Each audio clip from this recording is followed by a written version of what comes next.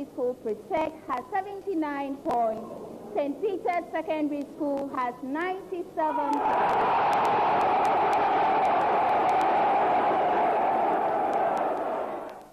Viewers, our reigning champions have been defeated by St. Peter's Secondary School.